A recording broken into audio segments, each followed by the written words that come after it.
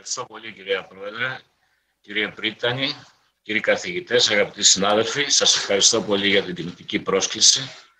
Ε, η παρουσίαση που θα κάνω αφορά περισσότερο σε νοσήματα που το κλινικό τους φάσμα ε, εφάπτεται με το πεδίο της εσωτερικής παθολογίας και θα ξεκινήσω από τις εξελίξεις που αφορούν το συστηματικό ρυθματόδη λύκο και την εφρίτιδα που αποτελεί μία από τις ε, σοβαρότερες ε, κλινικές εκδηλώσεις σε ένα μεγάλο ποσοστό ασθενών. Τις τελευταίες δεκαετίες έχει σημειωθεί μια πάρα πολύ μεγάλη πρόοδος στη θεραπευτική αντιμετώπιση της νεφρικής νόσου στο λύκο, ειδικά στις κατηγορίες 3 και 4 της νεφρίτιδας ε, και με αποτέλεσμα να έχει επιτευχθεί μεγάλο ποσοστό ε, νεφρικής επιβίωσης στις ασθενείς αυτές. Ε, τα, τα όπλα που χρησιμοποιούμε είναι ανοσοτροποποιητικά φάρμακα όπως η κυκλοφοσφαμίδη ή το μικοφενολικό σε συνδυασμό με υψηλές δόσεις γλυκοκορτικοειδών για να επιτύχουμε ύφεση. Συνήθως διαρκεί αυτή η θεραπεία για έξι μήνες και αν ε, δεν έχουμε επαρκή ανταπόκριση μπορεί να χρησιμοποιηθεί και η ρητουξιμάμπη. Για τη διατήρηση της ύφεσης χρησιμοποιείται το μικοφενολικό σε μικρότερες δόσεις ή η αζαθιοπρίνη, εναλλακτικά δε μπορεί να χρησιμοποιηθούν και οι ανταγωνιστές της ε, καλσινευρίνης. Παρόλια όμως αυτή την πρόοδο, συνεχίζει να υπάρχει ένα ψηλό ποσοστό ασθενών που καταλήγει σε νεφρική νόσο τελικού σταδίου κατά μέσο όρο 15 χρόνια μετά την πρώτη διάγνωση. Συνεπώς υπάρχει ανάγκη για νέες πιο αποτελεσματικές θεραπείες και τελευταία χρονιά ε, στη θεραπευτική φαρέτρα για την αντιμετώπιση της νεφρίτιδας του λύκου ε, μπήκαν δύο νέα φάρμακα, το μπελίμο το οποίο χρησιμοποιείται εδώ και μερικά χρόνια για την ε, αντιμετώπιση μέτριας ή ελαφράς βαρύτητας εκδηλώσεων του συστηματικού ερυθυματόδους λύκου χωρίς σημαντική νεφρική νόσο. Ε, είναι ένας, ένα, ένας αναστολέας του παράγοντα που επάγει την διαφοροποίηση και ενεργοποίηση των β' λεμφωτητάρων, ε, το Μπελίμοντ, και το οποίο χορηγήθηκε σε ασθενείς ως προσθήκη στην καθιερωμένη θεραπεία με κυκλοφοσφαμίδι ή μικοφενολικό και υψηλές δόσεις κορτικοειδών για δύο χρόνια. Και από τη μελέτη αυτή διαπιστώθηκε ότι έχει καλύτερη έκβαση η συγχορήγηση του Μπελίμοντ ε, και με κριτήριο έκβαση στο λόγο ε, πρωτεΐνης λευκόματος σούρων προς κρεατινίνη, είτε με κριτήριο έκβαση στην όχι σημαντική επιδείνωση της GFR, είτε ακόμα και με κριτήριο έκβαση στην πλήρη ύφεση της νεφρικής νόσου. Συνεπώς, μετά από αυτή τη μελέτη, το Μπελίμμα έχει πάρει έγκριση και από το FDA για την ε, αντιμετώπιση της νεφρίτητας του λύκου Μένει όμως να αποφασιστεί τελικά ε, να κριθεί ποια είναι η θέση του μέσα στη θεραπευτική στρατηγική, δηλαδή αν θα χορηγείται από την αρχή μαζί με τα υπόλοιπα φάρμακα ή αν θα χορηγείται μετά από τη διαπίστωση της ε, ανεπαρκούς ανταπόκρισης. Το δεύτερο φάρμακο το οποίο μελετήθηκε για την εφρύντητα του λύκου είναι ένας νέος αναστολέας της καρσινευρίνης, η βοκλοσπορίνη, η οποία χορηγήθηκε σε συνδυασμό με μικροφενολικό σε 357 ασθενείς με λύκο για ένα χρόνο και όπου και εκεί διαπιστώθηκε ότι σε σύγκριση με το πλασίμπο υπήρξε σημαντικά καλύτερη έκβαση τόσο με κριτήριο είναι το, το λόγο λευκόματος ούρων προς κρατινίνη, όσο και με κριτήριο την όχι σημαντική έκπτωση της νεφρικής λειτουργίας.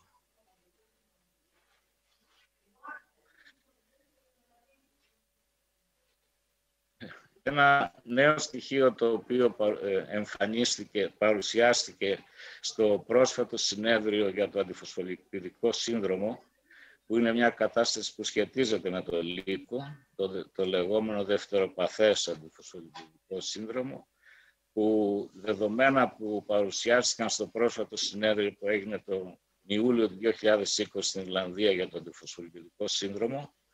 ε, είχε να κάνει με το ρόλο των DOACs στην θεραπεία του αντιφωσφορικητικού συνδρόμου. το, η βασική στάνταρ θεραπεία για το αντιφωσφιλιπιδικό σύνδρομο, όπως γνωρίζετε, είναι οι ανταγωνιστές της βιταμίνης K και σε συνδυασμό πιθανόν και με χαμηλές δόσεις ασπιρίνης ή και ορεξλωροκίνης ακόμα, ε, σε περιπτώσεις που ε, το προφίλ είναι αυτό της αρτηριακής θρόμβωσης. Με δεδομένη την ε, όλο και ευρύτερη χρήση των DOACs στην αντιμετώπιση των θρομβώσεων στο γενικό πληθυσμό,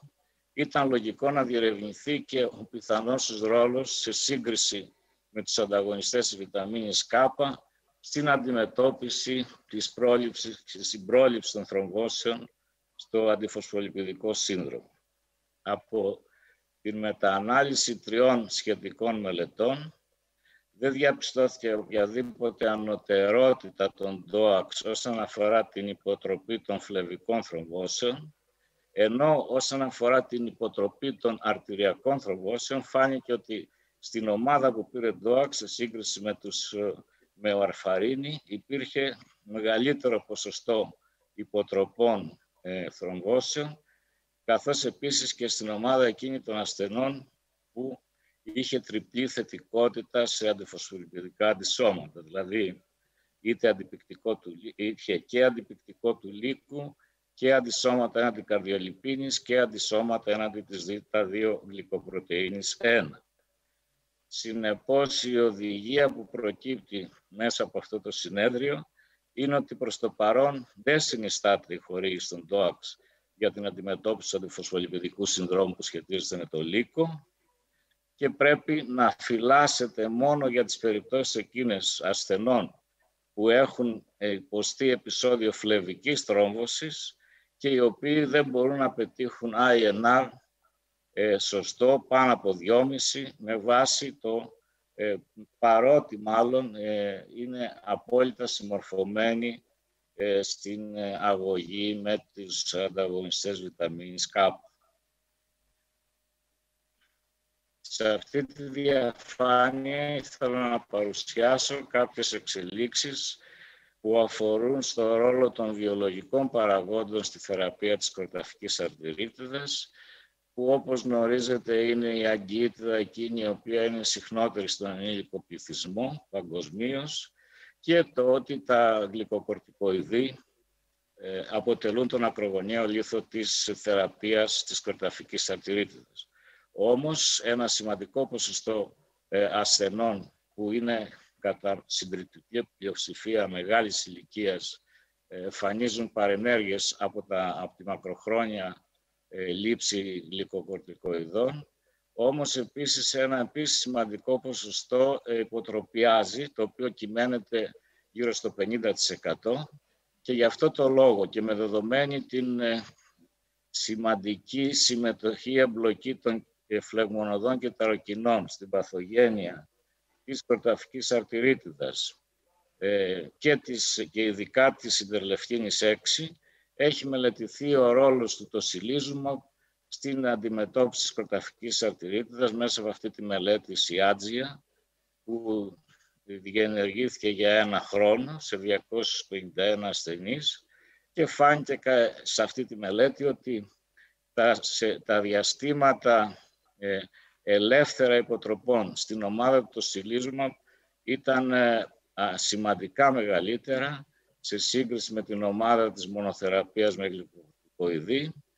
και επίσης ε, το, η συνολική δόση ε, γλυκοκορτικοειδών ήταν σημαντικά μικρότερη στην ομάδα του τοξιλίσμου. Γι' αυτό έχει πάρει έγκριση και από το FDA για την αντιμετώπιση της κροταφικής αρτηρίτιδας και από τη EULAR οι οδηγίες είναι να χορηγείται σε ασθενείς με κροταφική αρτηρίτιδα που έχουν, που έχουν υποτροπιάσει μόλις μειώθηκε σημαντικά εδώ στις κορτιζόνες ή μόλις διακόπηκε, ή σε ασθενείς που έχουν υψηλό κίνδυνο εμφάνισης σοβαρών ανεπιθύμητων ενεργειών από τα γλυκοκορτικοειδή.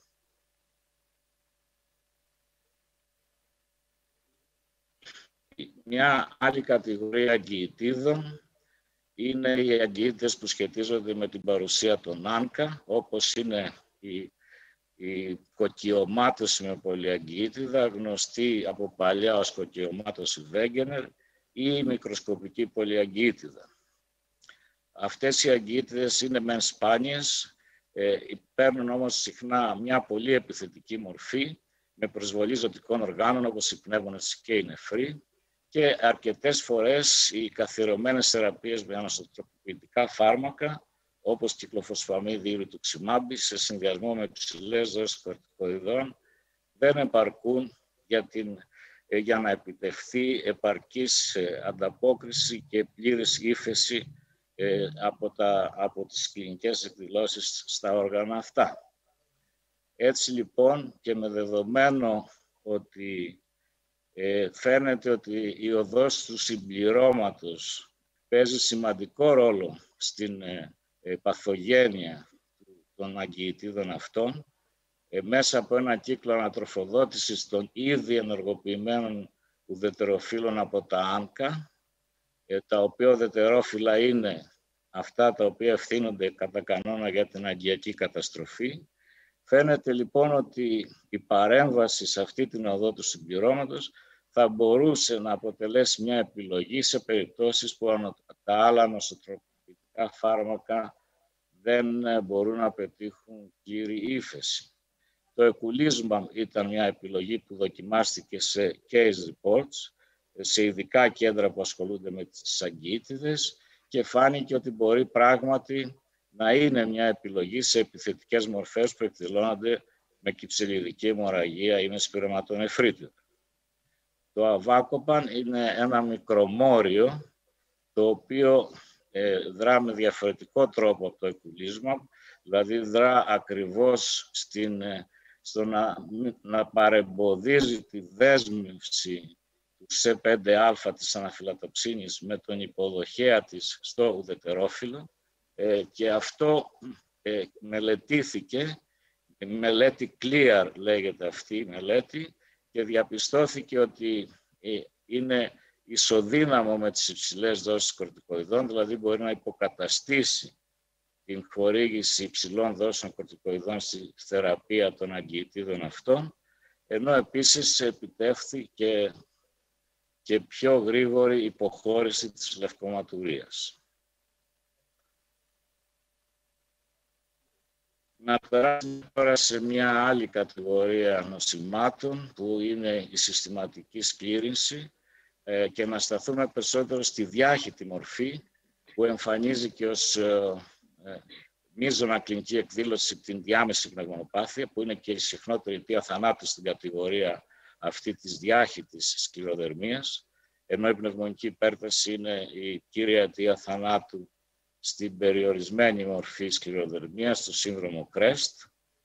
ε, και με δεδομένο ότι μέχρι σήμερα δεν έχουμε ε, πετύχει ε, πολύ θεαματικά αποτελέσματα σε σχέση με την αντιμετώπιση της διάμεσης αυτής της πνευμονοπάθειας, με τα ανοσοτροποποιητικά φάρμακα, μελετήθηκε και η πιθανότητα να συμβάλλουν στην καλύτερη αντιμετώπιση νόσου αντιεινωτικά φάρμακα όπως η τετανίμπη, που είναι ένας αναστολέας τυροσυνικής κοινάσης που εμποδίζει την, τον πολλαπλασιασμό και τη μετανάστευση των εινοβλαστών. Από τη μελέτη Σένσης, λοιπόν, που έγινε για ένα χρόνο σε 572, σε 576 ασθενείς με σκληροδερμία και διάμεση πνευμονοπάθεια, ε, διαπιστώθηκε ότι η, η εάν προσθεθεί στο μικοφενολικό, ε, σε σύγκριση με το πλασίμπο, ε, μάλλον έχει ως αποτέλεσμα μια αρκετά σημαντική επιβράδυση της μείωσης της FVC στους ασθενείς αυτούς. Ε, η μελέτη αυτή επεκτάθηκε για ένα χρόνο ακόμα στην Ιαπωνία και έδειξε παρόμοια αποτελέσματα. Έτσι λοιπόν, παρότι δεν υπάρχουν σαφείς οδηγίες για την ε, αντιμετώπιση της ε, διάμεσης πνευμοπάθειας στη σκληροδερμία, φαίνεται ότι ο συνδυασμός των ασωτροπητικών των φαρμάκων που έχουν χρησιμοποιηθεί μέχρι σήμερα, όπως είναι κυκλοφουσφαμίδι, το μικοφενολικό και ενίοτε και το ρητούξιμα, με αντινοτικούς παράγοντες όπως είναι η τετανίμη, μπορεί πράγματι να αναστείλει και, ή να επιβραδύνει την εξέλιξη προς σύγκρουση στους ασθενείς αυτούς. Ε, σε αυτή τη διαφάνεια θα ήθελα να σταθώ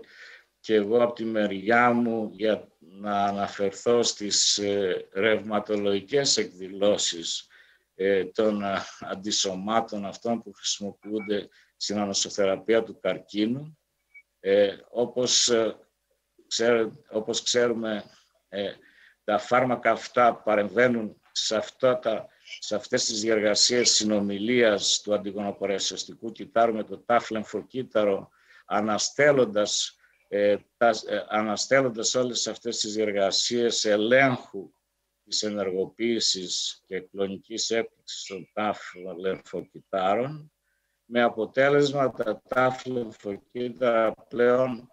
ε, ανεξέλεγκτα να πολλαπλασιάζονται και να έχουν τη δυνατότητα να σκοτώνουν ε, καρκινικά κύτταρα. Αποτέλεσμα, μάλλον μια παρενέργεια αυτής της ε, διαδικασίας είναι η εμφάνιση πολλών αυτοάνωσων διαταραχών ως παρενεργειών των φαρμάκων αυτών, ανάμεσα στις οποίες ένα μικρό ποσοστό κατέχουν που μπορεί να φτάνει και το 10%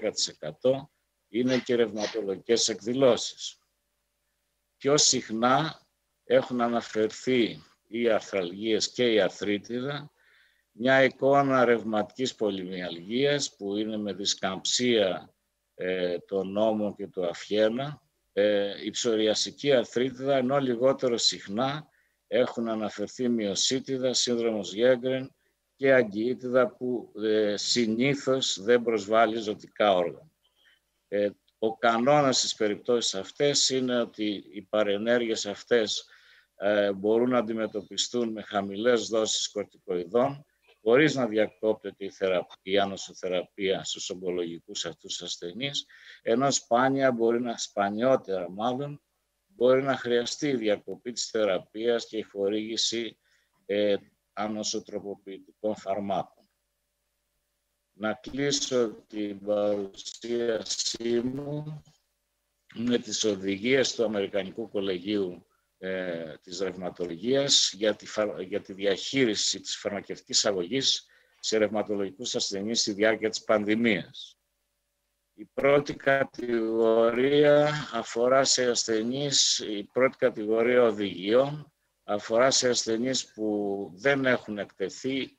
ε, ε και δεν έχουν νοσήσει ε, από COVID. Ε, είτε αυτοί οι ασθενείς μπορεί να είναι είτε ασθενείς σε σταθερή κατάσταση, ε, με νόσο σε ύφεση δηλαδή. Στους ασθενείς αυτούς δεν, δεν ε, προτείνεται οποιαδήποτε διακοπή, οποιοδήποτε φαρμάκου που παίρνουν, με σύσταση όμως να παίρνουν όσο δυνατόν ε, χαμηλότερη δόση πρενιζολόνης ή ισοδύναμου γλυκοκορτικοειδούς, ε, έτσι ώστε να ελέγχεται δηλαδή η νόσο τους με τη χαμηλότερη δυνατή δόση. Σε ασθενείς που πάλι δεν έχουν εκτεθεί νοσήσει, ε, που όμως έχουν ενεργό νόσημα ρευματολογικό ή πρωτοεμφανίζουν ε, ρευματολογικό νόσημα, θα πρέπει η αγωγή τους να γίνεται με βάση όλες τις ισχύουσες κατευθυντήριες οδηγίες, ακόμα, ακόμα και αν χρειαστούν υψηλές δόσεις κορτικοειδών να τις λαμβάνουν, εφόσον ε, πρόκειται για προσβολή μιζώνων οργάνων. Η δεύτερη κατηγορία οδηγιών αφορά σε ασθενείς που εκτέθηκαν ε, ή νόσησαν ή σε ασθενείς που ανέρωσαν σε ασθενείς βέβαια που νοσούν και έχουν εκτεθεί, έχουν εκτεθεί ή νοσούν, πρέπει να διακόπτονται όλα τα αντιρευματικά φάρμακα με εξαίρεση την υδροξυκλωροκίνη και με ερωτηματικό και για το τοσιλίσμα. Τα μη στεροειδή αντιφλεγμονώδη πρέπει να διακόπτονται σε περιπτώσεις σοβαρής πνευμονικής νόσου ε, και για ασθενείς οι οποίοι έχουν εκτεθεί αλλά δεν νόσησαν θα πρέπει να διακόπτεται η θεραπεία και να ξαναρχίζει 10 17 μέρες μετά από το θετικό τεστ, ενώ σε ασθενείς που νόσησαν και είναι σε ανάρρωση, πρέπει να, ε,